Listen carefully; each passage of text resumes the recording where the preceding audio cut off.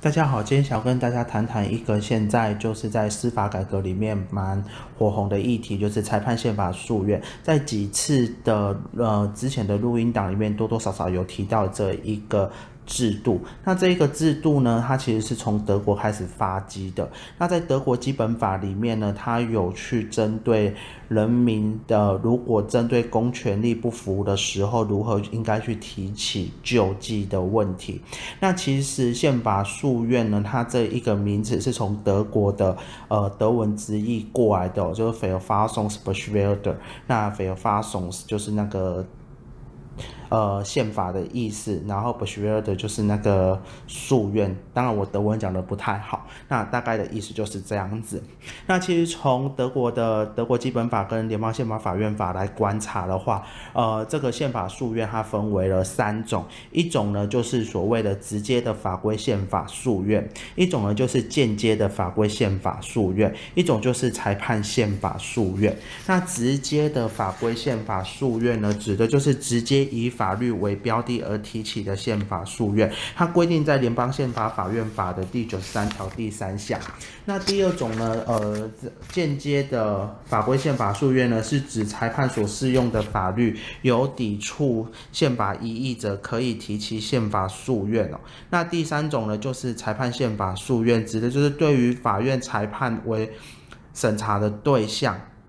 的一个去审查。法官的认识用法的这一部分哦，那其实嗯，在这个德国基本法里面呢，它。把所谓的人民申请的要件，其实就定得非常的清楚了。那在这个在学理上，学者称之为列举原则，跟我国司法院大法官审理案件法跟我们的宪法第七十八条是比较不一样的。那其实现在德国的宪法诉愿它并不是没问题的，而是它也有一些问题存在。呃，例如说呢，其实，在呃宪法诉愿里面最常被别人去做探讨的是两部分。第一个部分的话，就是所谓的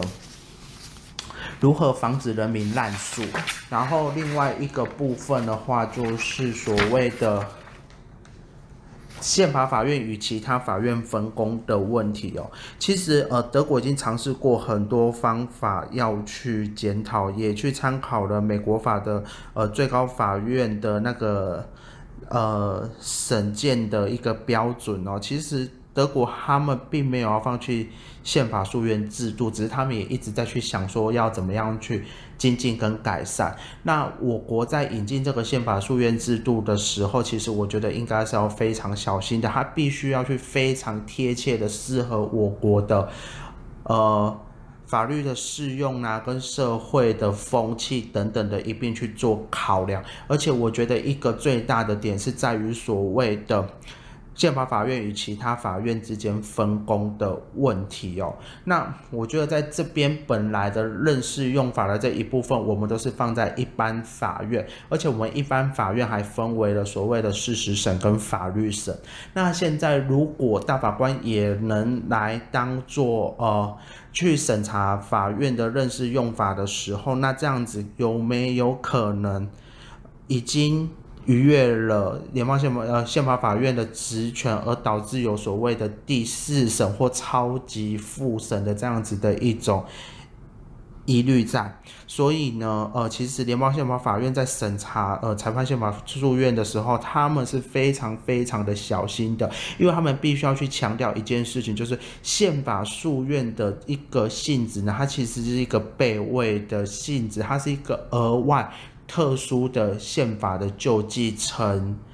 程序哦，所以有别于就是我们现在一般我们称之为美国法上最高法院的那一种法律的上诉审的那种感觉。可是呃，就现在从德国联邦宪法法院来看的话，案件数量这个一直是德国联邦宪法法院还一直没有办法去做。改变的，可是他在他的制度上面，他有去做了一些调整，例如他有一些小法庭啊，呃等等的一些设计，可以去分担掉这一些案子。那其实呃，申请裁判这一件事情，在我国的人民申请事件的过程中，其实其实是一直出现的。呃，其实我们可以从呃一个地方去。切入哦，从大法官的不受理决议可以去看到一件事情。大法官常常会说一句话：法院的裁判。本身及所持的见解，或非属对一般事项所为之抽象规定，非得为申请事项的客体。那大法官这边就会开始去讲喽。如果你只是在争执呃法院的认识用法与否，然后并未续明确定中局裁判所适用的法律与客观上有无抵触宪法的时候，而且。他会讲说，法院裁判本身所持的见解，依现行法制，尚非本院得为违宪审查客体，所以他会给他一个所谓的不受理决议哦。所以其实很多人呐，他去申请大法解释的时候，他都是针对所谓的这一个法院的裁判去做一个 argue，他认为说，嗯。法院好像做的没有那么的好，有侵害我基本权的问题，但是大法官一概都是以说认识用法并非本院所为审查违违宪审查的对象而为不受理决议哦。那其实回到不受理决议去看的话，其实这个比例其实也是不高的。其实大概一次的不受理决议里面，大概这种案子大概占了三分之一。那其实。呃，从不受理决议上去看，有些客观，但也有些不客观。因为有可能客观的原因是案子不多，但是不客观的原因呢的话，可能是我去想的是，因为一般的人民他没有受过法学的训练，而他自己去写这样子申请视线的时候，他根本就不知道该如何着着手。而且我觉得具体的个案裁判与抽象的法规危险。违宪查器就是一线之一线之隔，如果操作不当的话，那当然就是在这两个呃类型中游移的话，那它其实它的那个界限其实会比较模糊的，所以呢，在这个时候呢。在大法官在审查的时候，其实就会比较困难哦。所以呢，呃，其实嗯，这样子的一个制度的引进呢，值得大家好好的去观察跟看看。那从我国的呃视线实务上的话，也不难发现一件事哦，其实大法官已经开始开始的去运用了这一些的类似裁判违宪审查的手段，在审查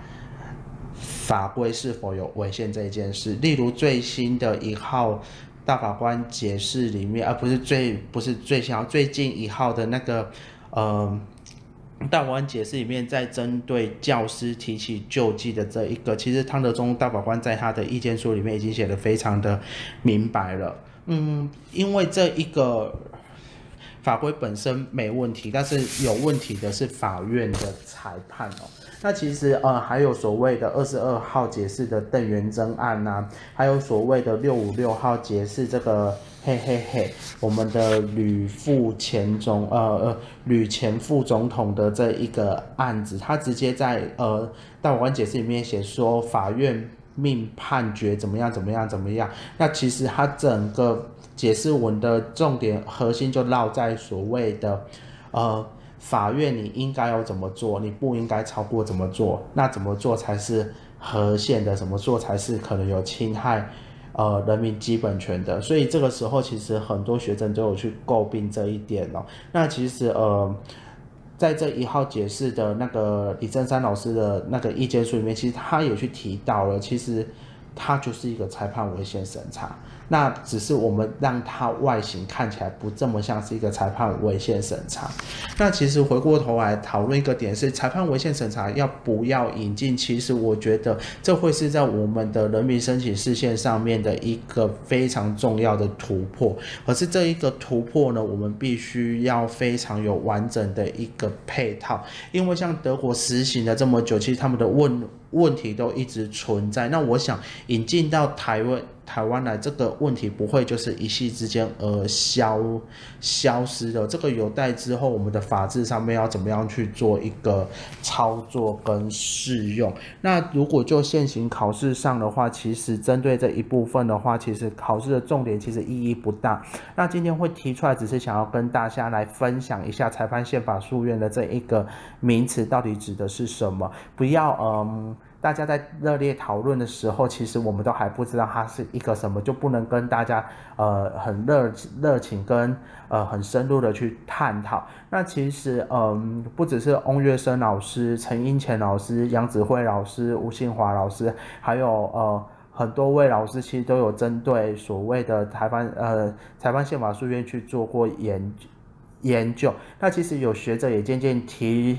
提出来说，其实我们台湾的违宪审查制度也有可能形成一种叫做台湾式的